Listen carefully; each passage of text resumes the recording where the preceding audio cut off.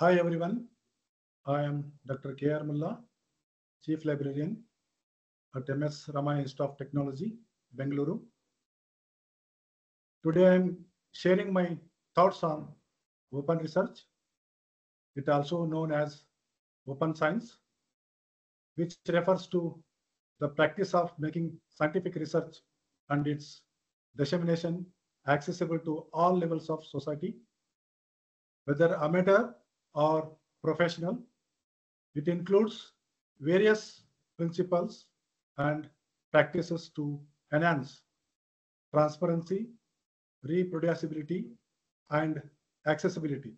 In research, critical aspects of open research, it includes make research publications publicly available by publishing in open access journals and repositories. It eliminating paywalls and subscription barriers. To share research data openly in accessible formats with proper documentation so that others can verify results, replicate its studies, and conduct new analysis, which will bring more innovations. It transparently share research methods, protocols, and workflows so that other researchers can understand and process it and replicate experiments and build upon previous work. It open up peer review process to make it more transparent.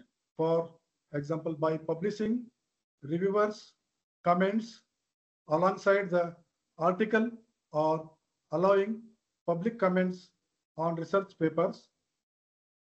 Use and contribute to open source software and tools for research to promote collaboration and the sharing of technological advancements without uh, patented restrictions. For example, FOSS, freely uh, available open source softwares to create and share educational materials such as textbooks, lecture notes, and videos under open license that allow free use and adoption. It uh, might be the uh, SWAYAM NPTEL in the Indian perspective. Engage the public in scientific research by involving non-professionals in data collections, analysis, and dissemination, which can enhance research capability and promote public understanding of science and open science research. It share research findings as uh, preprints before they undergo peer review to accelerate the dissemination of knowledge and allow the scientific community to provide early feedback in the research process, which will enhance the, the research output. It encourages practices that ensure research findings uh, can be reproduced and validated by others by sharing detailed methodologies, data, and code, etc. To use license such as Creative Commons to communicate how others can use, say, build upon research outputs. Open research have some uh, benefits to, to implement in institution level. It's freely accessible. Research is more likely to be read, cited, and used by others.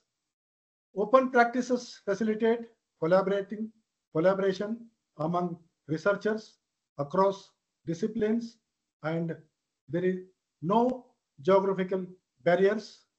Open sharing of data methods and findings promotes transparency and trust in research, making research accessible to the public, enhance public understanding and appreciation of science and science research. Open research accelerates the sharing of findings, leading to faster scientific progress. However, open research aims to democratize knowledge, enhance scientific rigor, and accelerate discovery by making research more accessible, transparent, and collaborate.